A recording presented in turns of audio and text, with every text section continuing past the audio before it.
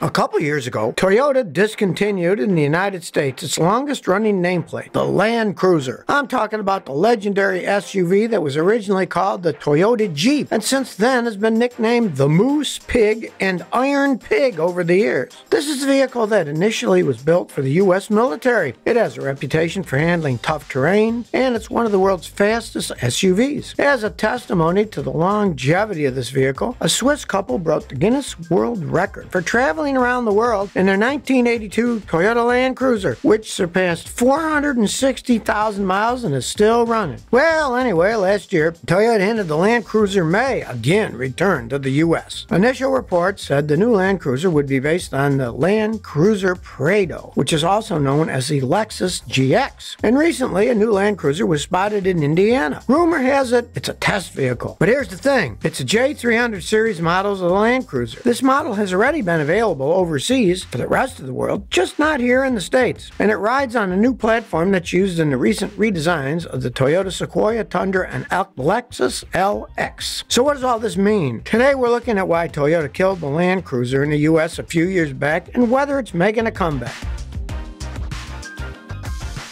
To fully appreciate how and why the Toyota Land Cruiser got to the state of non existence in the U.S. right now, we have to rewind a bit. Not many people know this, but back in 1951, the first ever Land Cruiser was actually made for the military. The story goes that the Japanese Imperial Army was using the Kurogane Type 95 four wheel drive reconnaissance car, but then they occupied the Philippines in 1941. And there, they discovered an American Willys MB Jeep. They sent it to Japan, where the military then ordered Toyota to make a similar vehicle, but specifically mandated it to look nothing like the American Jeep. So Toyota started development and so forth. It made so much headway, even the Japanese police became the first customer of the Land Cruiser. Fast forward to the Korean War. North Korea invaded South. That was back in June 1950. At the time, the U.S. was still occupying Japan. So the U.S. military asked Japan to develop the local military truck. By then, Toyota developed a military truck prototype. It was the Toyota Jeep BJ. The letter B stood for Toyota B Series engine, and the letter J stood for Jeep. But then Toyota got in trouble because, as it turns out, the company Willys had trademarked the word Jeep. In response, Toyota renamed the vehicle, and that's how the Land Cruiser nameplate was born.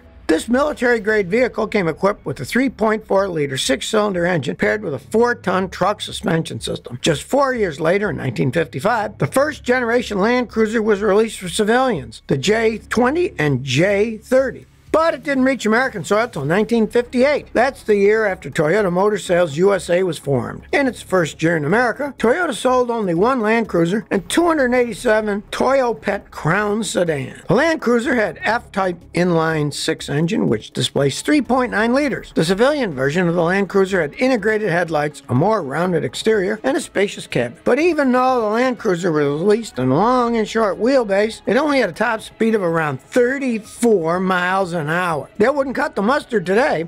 Now, the second generation of the Land Cruiser was introduced in 1960 and actually stuck around until 1966, the J40. Despite the initial limited demand for the Land Cruiser, actually, this generation saw the vehicle become Toyota's best selling vehicle in the United States. This generation had a new rectangular shaped exterior, circular headlights, and a front radiator grille. The indicators also got moved to the front wings. And this new Land Cruiser came with added engine options that were available, including a four cylinder gas and diesel engine. And it came in three different different trims full economy and moderate drivability. Whatever that means. This series came with four different wheelbase options and a manual transmission system with six gears. Three gears for driving on roads and three were for off roading. By the time 1967 rolled around, Toyota was ready to introduce the third generation, the J40 and J50. This generation stuck around till 1979. It was especially popular among consumers living in higher temperature areas. That's because a brand new air conditioning system was introduced in 1979. That same year, power steering was also introduced in the series. This new Land Cruiser model came with lots of other changes. In fact, there were so many changes that it almost looked like a completely different vehicle compared to the previous models. The third generation Land Cruiser was painted in a two-tone color. The car frame was much more rounded shape, and on top of that, the series didn't have the signature Land Cruiser rear hatch. In 1980, the fourth generation Land Cruiser was introduced and it stayed for nine years. The J60 and J70. We're talking a four door midsize SUVs that featured a minimalist dashboard. The front of the Land Cruiser looks similar to the front of the 40 series. The vehicle got its power from a 4.2 liter V6 engine and a 5 speed manual transmission system. It also came with multiple diesel engine options. The instrument cluster back then was super simple just three indicators fuel level, speedometer, and coolant temperature. Then, in 1989, the fifth generation was introduced. It lasted until 1997, the J80. Actually, this generation is known as one of the most powerful off roading vehicles manufactured by Toyota today. It was famous for its advanced safety and tech features that made it suitable for different types of terrain. I'm talking a V6 engine that pumped out 215 horsepower and got its vehicle up to a top speed of 118 miles per hour. And its all wheel drivetrain was accompanied by a five speed manual transmission system. 1998 saw the launch of the sixth generation, which stuck around till 2007. This J100 Land Cruiser was built on a wider wheelbase and had larger cabin space. The exterior differed from previous models. The front end of this Land Cruiser was tall and flat. That gave you a good view of the road, and large fenders were featured on the front and rear tires to ensure the aerodynamics of the vehicle. The dashboard was more complex than before. We're talking a choice of fabric or leather interior options. When you lifted up the hood of this Land Cruiser, consumers were offered a 4.7 liter gasoline powered V8 and a 4.2 liter inline six turbo diesel engine. The J105 was also introduced in this generation. It was more rugged and had more prominent curves and lines that ran rear to front end. The last generation of the Land Cruiser in the U.S. was the seventh generation. It was introduced back in 2008 until 2021, the J200. This Land Cruiser got nicknamed the Toyota V8, and that's why many fans still call it around the world. This generation was equipped with off-roading and driver assist features. It also had all the bells and whistles like four-zone climate control, a smart start system, airbags, and a downhill assist system. Obviously, this one had the V8, hence the nickname, and it could drive up to 124 miles an hour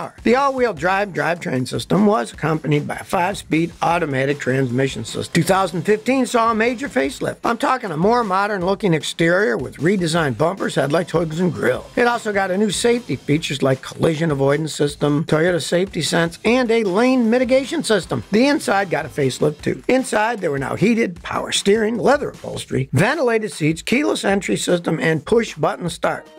Here's the thing. This vehicle is popular in many parts of the world, but sadly not so much in the US. Back in 2019, Toyota was selling just over 3,000 Land Cruisers a year in the States. To put that in perspective, compare that to Australia, which is the Land Cruiser's largest market. In Australia, Toyota sells over 42,000 Land Cruisers a year. That's more than 13 times the amounts in the United States. The fact that it sells in Australia speaks volumes about this vehicle because Australia is known to have some of the toughest terrains. The Land Cruiser didn't reach its full potential here in the States, even though it was popular in other countries around the world. And so Toyota discontinued the Land Cruiser in the US in 2021. By the way, the Land Cruiser is more popular in Japan than it was in the US. Right now, if you're in Japan, you want a Land Cruiser, there's a four year wait list. Part of the reason is due to supply chain disruption and chip shortages.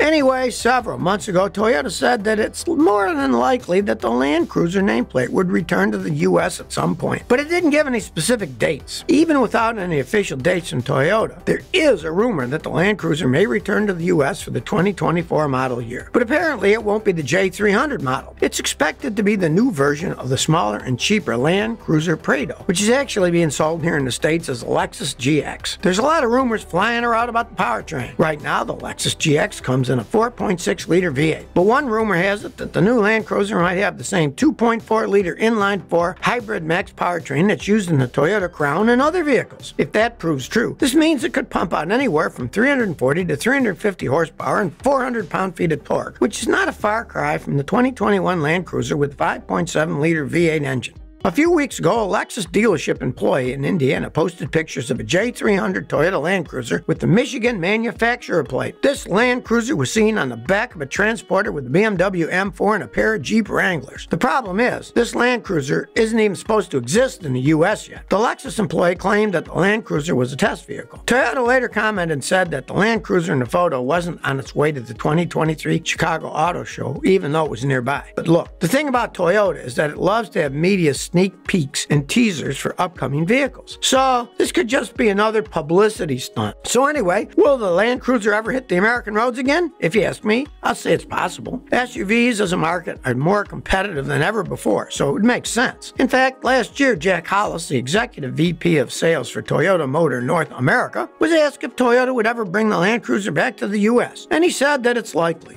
But now you tell me, are you voting for the Land Cruisers to come back? If you've ever gotten behind the wheel of a Land Cruiser before, what was your experience? Please share by commenting below. If you like this video, please like, share, and subscribe. Thanks for your support.